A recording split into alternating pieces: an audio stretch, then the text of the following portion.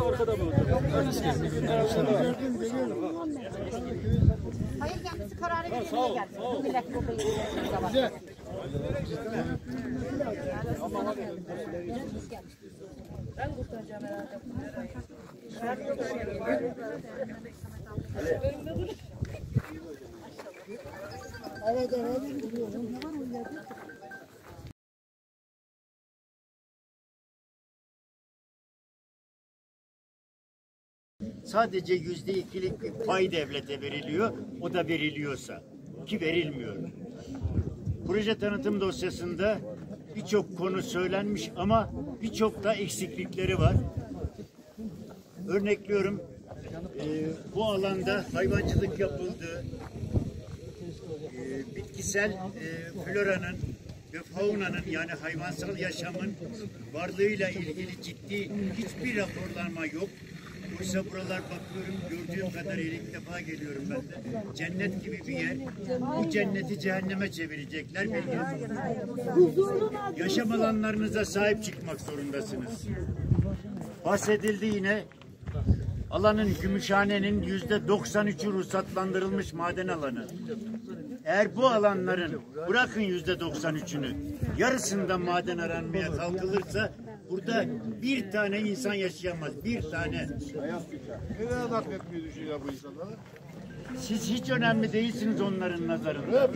Dolayısıyla dolayısıyla biz bu ülkenin sahibi olarak sorunlarımıza ve onlara karşı sahip çıkmak zorundayız vatanımıza. Burası bizim vatanımız. Sahip çıkmak zorundayız. Hukuki süreçte çok kısa bir şey söyleyeyim. Muhtarım önce bir dava açtı. Zaman çok kısaydı. Usulen bir dava açıldı. O davanın sonrasında bizler e, hukuki anlamda yardımcı olmaya çalıştık kendisine ve dava dilekçemizi Erzincan Mahkemesi'ne gönderdik. Onun sonrasında Gümüşhane Valiliği ile şirketle karşılıklı yazışmalar oldu. Bugün de e, idare mahkemesi, Erzincan İdare Mahkemesi e, beş kişilik bir heyetle e, bilirkişi heyetiyle burada keşif yapacak.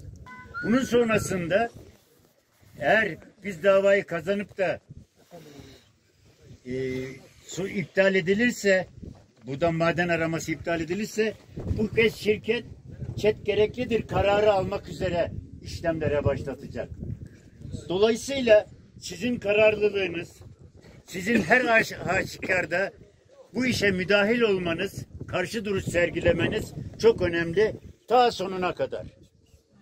Ne zaman çet kararı tümüyle iptal edilir o zaman rahat erecek Gümüşhane ve sizler. Pardon bu taraf, bu şey chat gerekli değildir. Ee, şeyini imzalayan vali. Acaba buraya geldi mi? Gördünüz mü? Sanmıyorum. Şimdi bakın şeyi açıklayalım. Bunu sormak lazım. Chat, chat, chat gerekli değildir. Kararı şu anlama geliyor.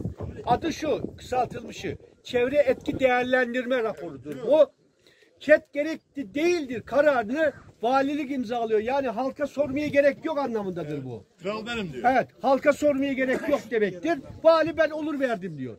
Gerekli kararı olunca halka bir soralım deniyor. Avukatımızın anlatmış olduğu olay bu. Bizim seçtiğimiz yöneticiler bizleri sözüm ona yönetiyorlar ama yönetirlerken bizi hep devre dışı bırakıp o sermayenin emrinde bir, ta- bir takım şeyler yapmaya çalışıyorlar. Devletin biz olduğunu yani vatandaşın devletin asli unsuru olduğunu unutmayın lütfen. Biz varsak devlet var.